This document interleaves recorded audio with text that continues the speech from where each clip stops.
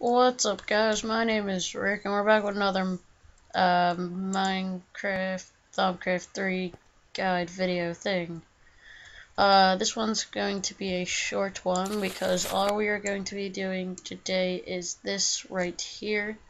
It is called the Unified Thaumic Field Theory and basically what it does, it is it allows you to move on to the rest of the Thaumcraft things and it allows you an upgrade for your wand.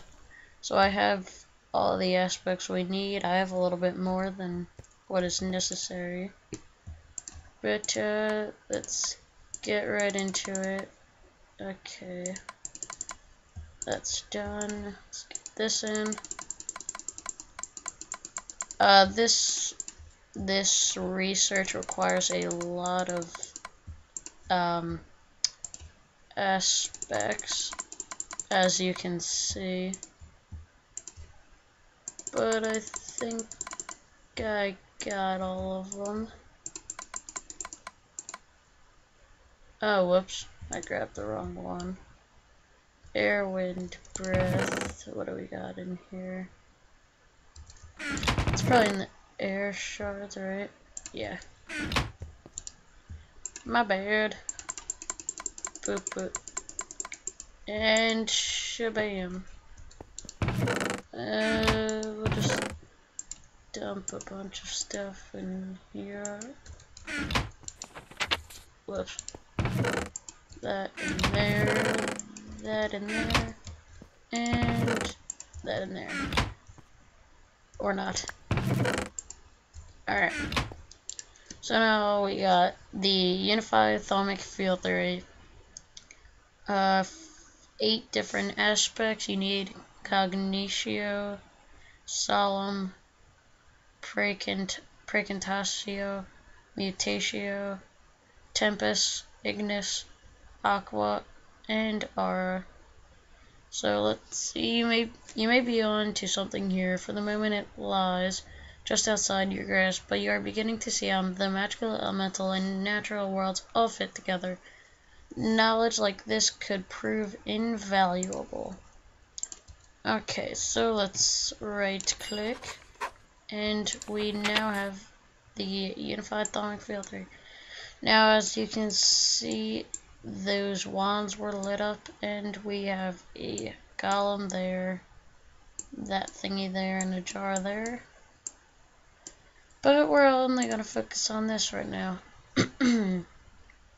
You have formulated a theory on how the natural and elemental world interacts with the mystical. You finally have a grasp on how the aura saturates everything and everyone. Not only is this knowledge enlightening, it has some practical applications. The first such practical application is an improvement to your casting wand. You now know how to create a wand of the adept. It is similar to the wand of the apprentice, except it is able to store much more vis, thus allowing for larger and more complex feats features of magic. It also recharges faster.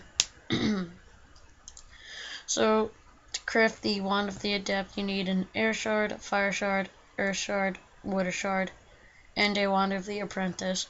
Now you also need 50 V, so you're, you are going to have to make another Wand of the Apprentice. So let me just... Yep need one of these and one D. Now we need an earth, and air and fire, and water, I believe. Yeah, okay. So, first we gotta make our second wand of the, whoops, apprentice.